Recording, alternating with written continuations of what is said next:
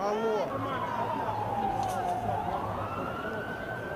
Начинать 30 ноября вот это, вот это все дело. Ну, понятно. Тихо, мирно должно... не стояли здесь целый день. Ну, она. Это что? Это? На Майдане и с этими майданутами, понимаете, под дулом автоматов, они...